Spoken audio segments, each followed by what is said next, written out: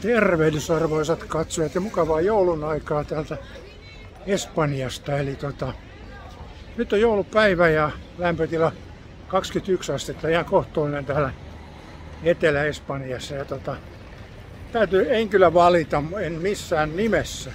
Mutta täytyy kyllä myöntää, että hieman tottumista taas tähän lämpöön, kun lähti tuolta. Mutta eiköhän tähän totuta. Joo.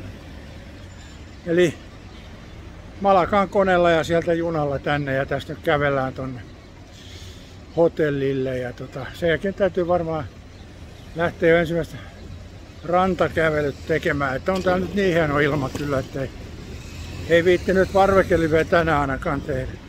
Mutta tota, ehkä sen aikaan sitten myös. No joo, tää oli huono, mutta taso ei tule nousee. Timelessille tiedoksi. Eli tota, tällä mennään ja, ja tota, on kyllä hieno päivä. Täällähän on vielä ihan täysin kesä näin joulukuun lopussa.